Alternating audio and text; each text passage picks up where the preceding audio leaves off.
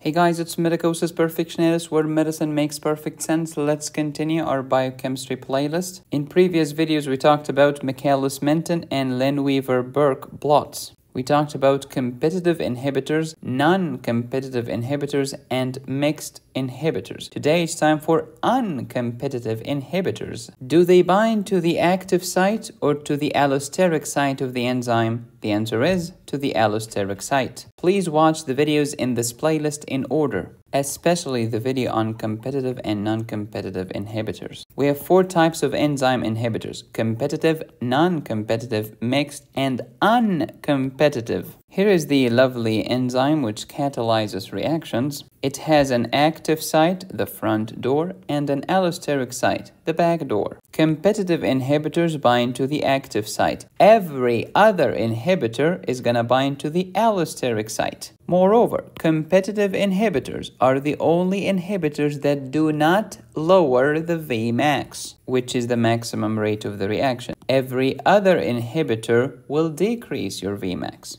Let's review competitive inhibitors quickly. What do they do? They crush the affinity, and as you know, affinity is always opposite to Km. By crushing the affinity, Km will go up. And again, it's the only inhibitor that does not lower your Vmax. Next, non-competitive inhibitors. No change in the affinity, which means no change in the Km. However, since we cannot overcome them, they lower the Vmax. Here is an analogy to understand competitive inhibitors. Imagine that we started with a shop that sells 10 cars per day to 10 different customers. Here came the competitive inhibitor, Cody the capitalist, and open shop just next to the first shop. What's going to happen to the customers? Well, five will remain with the old shop and five will go to the new one. So the attraction of customers to the old store decreased. Therefore, KM is going to go up. But did Cody the capitalist alter the net sales revenue or the total number of units sold?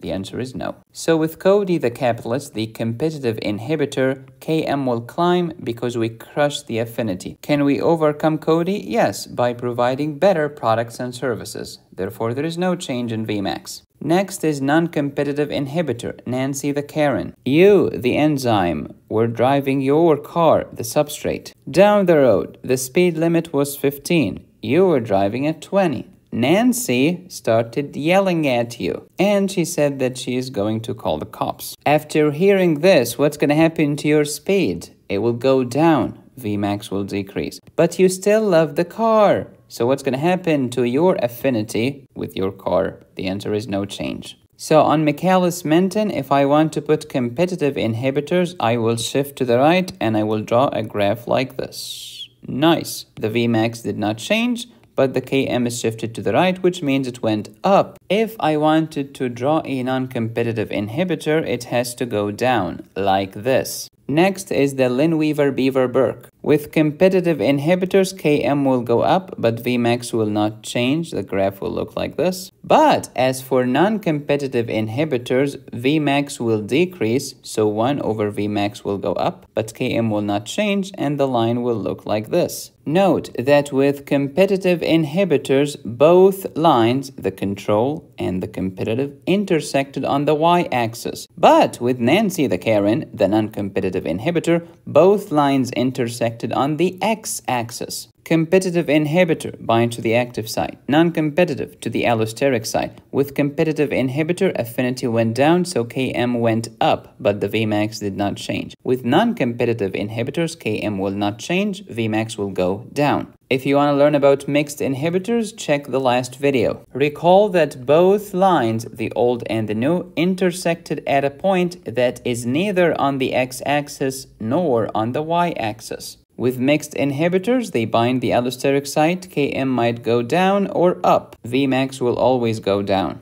Let's add uncompetitive inhibitors. Again, they bind to the allosteric site. Km is always decreasing because affinity goes up. And just like the ones before it, Vmax will go down. So again, competitive inhibitors are unique. They are the only inhibitors that bind the active site. Everything else binds allosteric. Competitive inhibitors are unique. They are the only inhibitors that do not decrease your Vmax. Every single other one is gonna lower your Vmax. Uncompetitive inhibitor, what's the deal? It binds only to the enzyme substrate complex when both are hugging each other and will tell them, hold on, hold on, just keep locked in that position. You're not allowed to detach, which means we will love each other even more because we're hugging each other longer. Km will decrease. Vmax will decrease. So Vmax decreased, which means 1 over Vmax will go up. Here's the line. What happened to Km? It decreased. I shift to the left. So look at the old line versus the new line. They are parallel. So there you go again. Please pause and review. If you like this video, check out my general pharmacology course on my website medicosisperfectionalis.com with even more graphs and lots of math equations. And if you like biochemistry, you will like toxicology as well. Thank you for watching. Please subscribe, hit the bell, and click on the join button. You can support me here or here. Go to my website to download my courses. Be safe, stay happy, study hard. This is Medicosis Perfectionalis, where medicine makes perfect sense.